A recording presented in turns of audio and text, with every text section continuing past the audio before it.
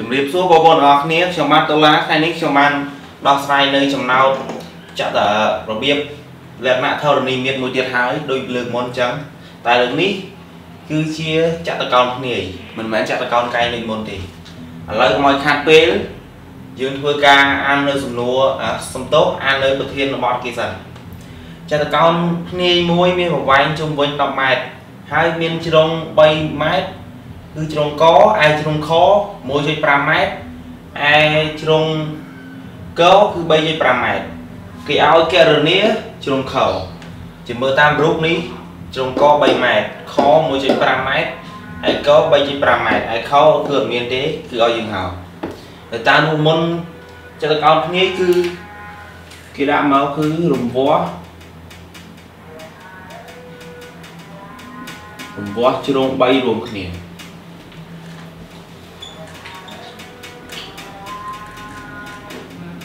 ត្រង់ហ្នឹងគឺចង់មានន័យថា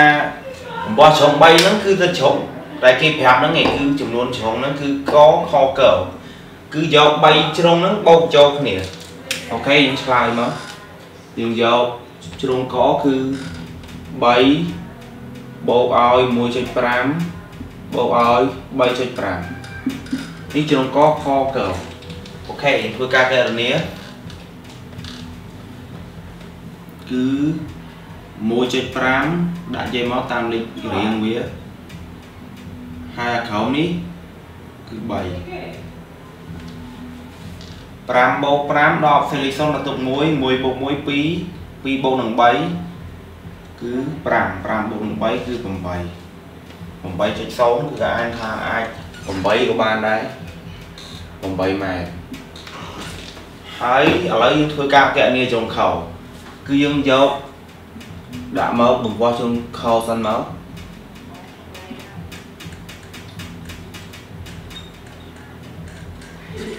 OK ត្រង់ហ្នឹងគឺស្រួលទេ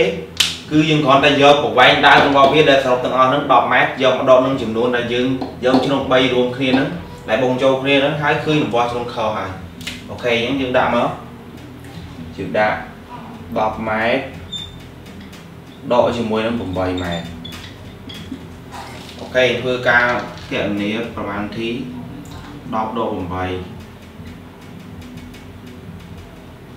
ដក8គឺ2តែម្ដងហើយគឺស្មើ2ម៉ែត្រអូខេយើងឃើញហើយកន្លែងជ្រុងខោគឺវា2ម៉ែត្រវាវែងជាងចំណុចជ្រុងខព្រោះវារៀងវែងជាងវាទាជាងអញ្ចឹងធ្វើម៉េចដល់ស្រាយមកឲ្យឃើញអានេះធំជាងអានេះវាត្រូវហើយ 2ម៉ែត្រជ្រុងខនេះជាចម្លើយអូខេបាយបាយ